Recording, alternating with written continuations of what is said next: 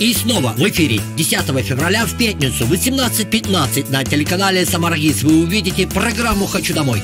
Тема эфира – немецкую овчарку нашли брошенную под Ижевском, а нового владельца в Самаре. Как сложилась судьба породистой собаки. Видеовизитки. Три собаки нуждаются в своем доме, в еде и ответственном владельце. Посмотрите и заберите себе верного друга.